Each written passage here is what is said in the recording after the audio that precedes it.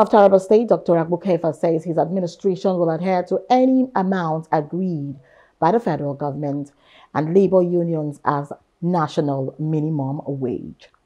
Dr. Agbu Kefas disclosed this in Jalingo while speaking in an interview with journalists saying labor unions are still negotiating on the new national minimum wage and he assured the civil servants in Taraba State that he is ready to pay any amount arrived at by the federal government as minimum wage whatever decision the federal government arrive at, we are with them. We'll make sure the welfare of our workers is everybody's responsibility. So the federal government is willing to improve the welfare of the workers. The same thing at the state level. So we are with them. Whatever they arrive at, we'll make sure we'll follow. We are also talking even behind uh, the, the, the, the scene to ensure that uh, we, we reach at something. So I don't think it's going to be an issue. The most important thing is protecting the life and the property of my citizens.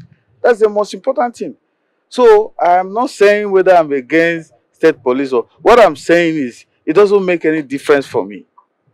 I am here to uh, ensure the safety of the life of my citizen in my state. That is my responsibility. Hello, hope you enjoyed the news. Please do subscribe to our YouTube channel and don't forget to hit the notification button so you get notified about fresh news updates.